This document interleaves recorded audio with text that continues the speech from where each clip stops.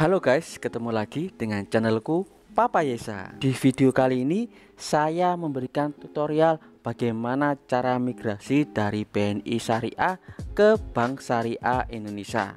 Pengguna BNI Syariah seperti saya ini itu tidak akan bisa dibuka lagi di BNI Mobile Banking. Jadi biasanya kalau saya cek saldo atau cek transferan masuk ya. Cek apalagi cek gaji ya. Itu tidak bisa dibuka lagi di BNI Mobile Banking dan harus pindah ke BSI Mobile Bank Syariah Indonesia Mobile. Oke bagaimana caranya? Dan jangan lupa untuk terus dukung channel ini guys dengan cara klik subscribe. Langsung ke TKP cekidot. Oke coba saya login akun BNI Syariah saya di BNI Mobile Banking. Saya sudah isi username serta PIN nya dan saya coba login akan keluar error seperti ini guys. Oke keluar seperti ini ya.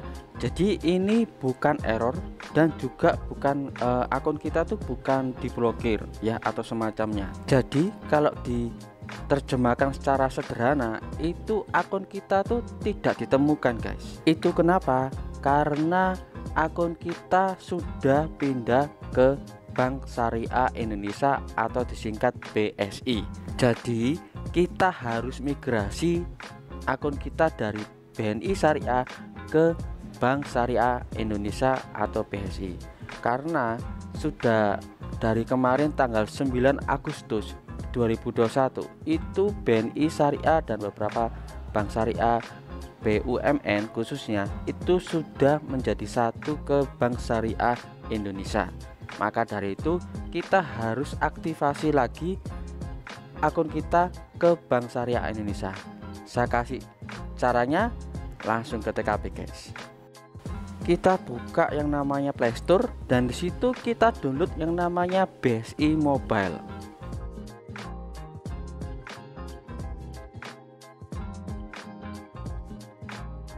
Oke, kalau sudah di-download dan sudah diinstal, langsung kita klik open. Di sini kita klik elo elo saja.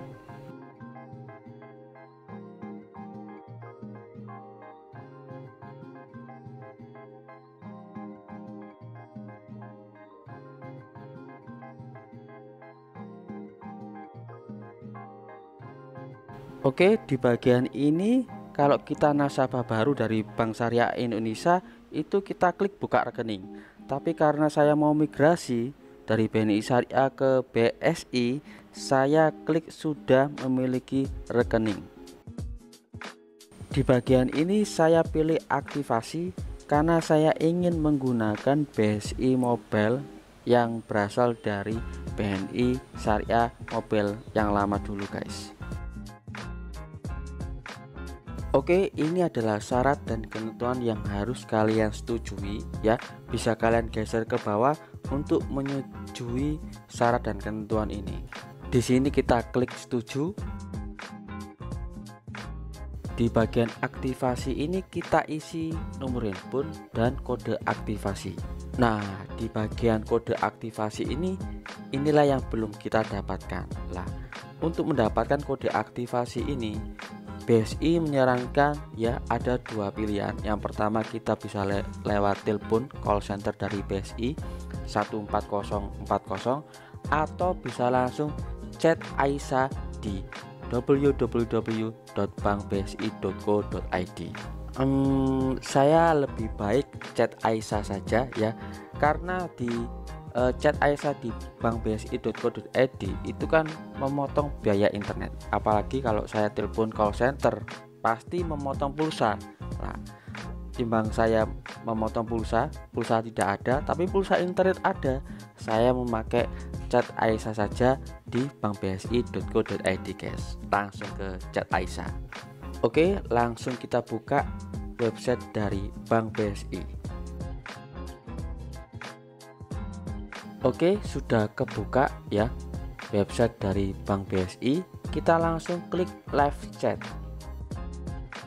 Oke ini adalah bagian Aisyah yang singkatannya asisten interaktif Bank Syariah. Sebelum chat ke Aisyah ini kita harus isikan nama kita, terus email dan nomor HP yang sudah terdaftar di BNI yang Syariah dulu guys.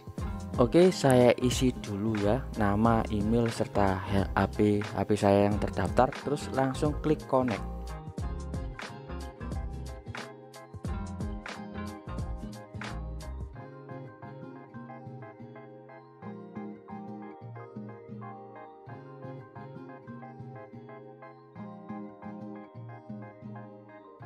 Di sini kita sudah masuk uh, ke bagian chat Aisyah ya.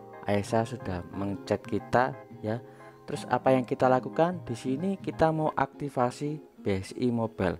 Kita ketik langsung di bagian ini, bagian message ya, aktivasi BSI Mobile.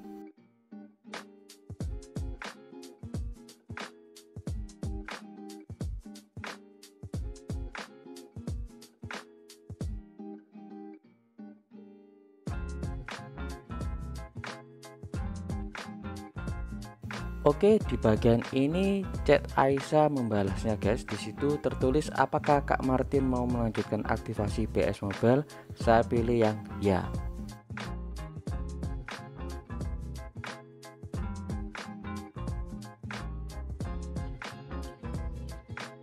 Oke, Aisyah membalasnya dengan kita mengisi nomor handphone yang sudah didaftarkan pada bank syariah yang terdahulu ya guys pada saat itu BNI Syariah ternyata bukan nomor handphone saja yang harus kita isi ya.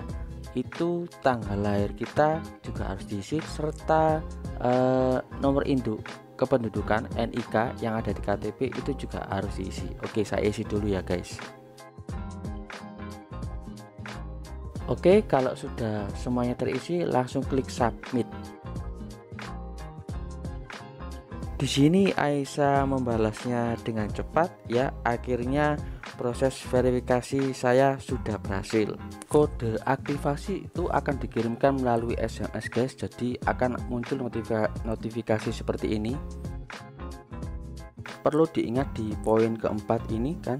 Kirim kode aktivasi via SMS jadi kita butuh pulsa untuk SMS ya. Paling enggak kita minimal pulsa 2000 lah cukup untuk kirim SMS di BSI mobile ini Oke sekarang kita lihat isi SMS dulu dari BSI Mobile ini guys. Oke ini adalah isi SMS dari BSI Mobile. Ya di situ ada kode aktivasinya dan ada masa berlakunya guys. Jadi jangan sampai kode aktivasi ini selesai dari masa berlakunya. Dan sekarang kita kembali masuk ke BSI Mobile ya. Di situ kita mau aktivasi kita isi nomor handphone dan kita isi aktivasinya terus klik tombol selanjutnya guys. Di bagian ini kita klik lanjut. Di sini kita diarahkan untuk SMS ya. Kita send aja. Ternyata pulsa saya tidak mencukupi untuk SMS ini guys. Jadi saya isi pulsa dulu ya untuk bisa SMS ke BSI Mobile. A few moments later. Oke sudah saya isi pulsa dan sekarang saya coba kirim lagi guys Oke, sudah berhasil ya dan kita kembali lagi ke BSI Mobile untuk aktivasinya.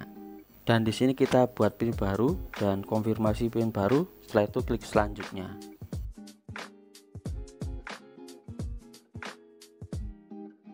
Oke, di bagian ini aktivasi sudah berhasil guys. Terus kita langsung klik OK Oke di bagian ini kita juga isi kata sandi dan konfirmasi kata sandi terus klik buat kata sandi.